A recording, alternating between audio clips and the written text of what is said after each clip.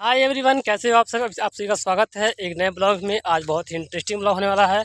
आज मैं कहीं बाहर जा रहा हूँ घूमने के लिए और उस प्लेस के बारे में दिखाऊँगा कहाँ पे है। एक थोड़ा सा गाँव है, उसी गाँव में जा रहा हूँ घूमने के लिए। यार काफ़ी इंटरेस्टिंग है और देख सकते हैं यहाँ पर थोड़ा, अभी मैं निकला हूँ घर से और घर से निकलते ही अभी मेन चौराहे पर आया हूँ। मेन चौराहे से ऑटो लूँगा ऑटो से मैं निकलूँगा अपने। तो वीडियो बहुत ही इंटरेस्टिंग होने ब्लॉग बहुत ही इंटरेस्टिंग होने वाला है। तो ब्लॉग में अंत तक बने रहिएगा। चलिए शुरू करते हैं नए ब्लॉग्स के साथ। आगे की जर्नी। फाइनली मैं पहुँच चुका हूँ और यहाँ से पूरा पैदल जाना पड़ेगा क्योंकि यहाँ पे रास्ते नहीं हैं। गाड़ी जाने के लिए यहाँ से एक किलोमीटर अंदर हमको पैदल जाना पड़ेगा। और जिससे पीछे धान की खेती के लिए, धान की रोपाई की गई है और इधर चावल की खेती बहुत ज़्यादा होती है। अब धीरे धीरे तरफ़ मकान भी बन जा रहे हैं। काफ़ी जब मकान नहीं थे लेकिन अब चारों तरफ़ मकान ही मकान है, देख सकते हैं। इधर पूरा खेत ही खेत है।